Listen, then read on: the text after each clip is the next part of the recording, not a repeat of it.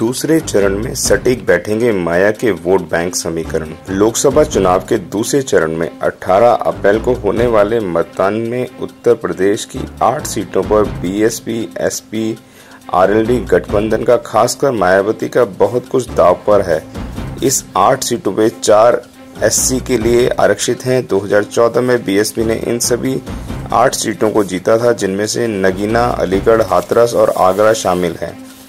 मायावती ने नगीना, बुलंदशहर और आगरा सहित आठ सीटों से छह पर अपने उम्मीदवार खड़े किए हैं। विश्लेषण का मानना है कि इस चरण की अधिकतर सीटों पर भाजपा और बसपा के बीच कड़ी टक्कर है। केवल हाथरस पर सपा का उम्मीदवार है। सपा ने यहाँ रामजी लाल सुमन को उतारा है। इन आठ सीटों पर दलित, जाटों, गुजरों और मुसलमानों की महत्वपूर्ण आबादी है। नगीना, अमरोहा, अलीगढ़ और आगरा में दलितों और मुस्लिमों की अच्छी आबादी है। 40 प्रतिशत और 50 प्रतिशत के बीच है। बुलंदशहर, हाथरस, मथुरा और फतेहपुर में जाटों और गुजरों की आबादी भी अच्छी खासी है। 2014 के चुनाव के इस तरह, इस बार सांप्रदायिक माहौल नहीं है, लेकिन योगी आदित्यनाथ ने प्रचार के दौरान दंगे के मुद्दे को हवा देने की कोशिश ज़रूर की है। वहाँ महागठबंधन भगवान फैक्टर को काटने के लिए दलित मुस्लिम वोट बैंक को एकजुट करने की कोशिश कर रहा है। कठिन प्रतिद्वंदी को देखते हुए भाजपा ने दो आरक्षित सीटों पर अपने प्रत्याशी इस बार बदल दिए हैं।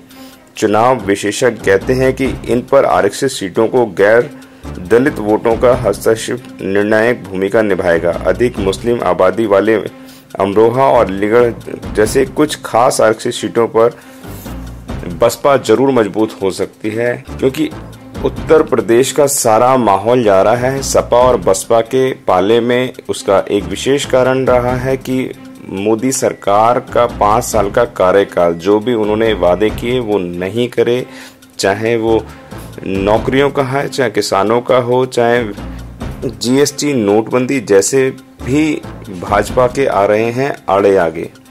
जिनकी वजह से वोट बैंक हो रहा है कम। अब वही बहन कुमारी मायावती ने कहा कि देश में पाँच साल का अपना कार्यकाल तो गिनवाया नहीं, अब करते हैं पाकिस्तान की बात।